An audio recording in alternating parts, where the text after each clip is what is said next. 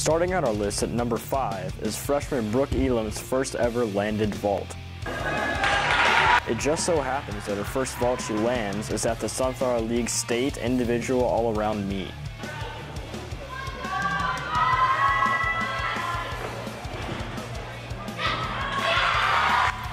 Elam scored a dazzling 9.25 out of 10 on the vault.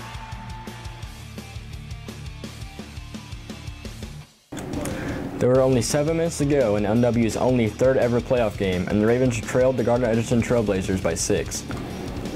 The play was a wide receiver screen pass to big offensive playmaker Elijah Rowland, and make a play he did.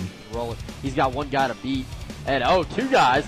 He jukes right out of two guys. Oh, he's gonna stay on his feet. He's gonna run down the sideline. Touchdown, Olathe Northwest. With the extra point from David Boschma, the clutch play put the Ravens up 16 to 15, putting the momentum in the Ravens' favor.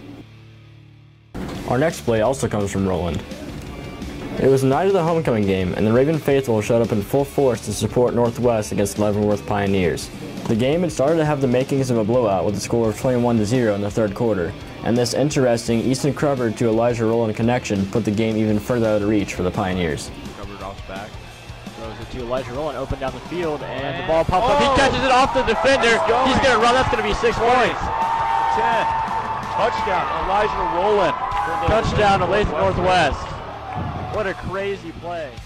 After a hard-fought season, the boys soccer team faced Shawnee Mission West in the regional championship game.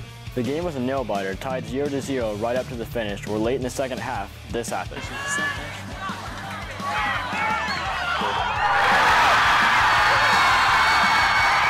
The goal was the deciding factor in the game as the Ravens held on to the lead and later won the game, becoming regional champions. And your final score, Olathe Northwest 2, Shawnee Mission West 0.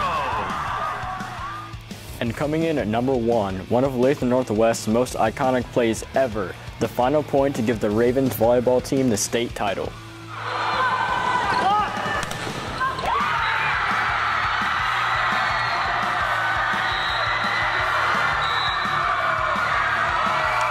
Here's to a great season of ONW Fall Sports. Let's gear up to make more highlight plays this winter. This has been Adam Cook. Now back to you guys.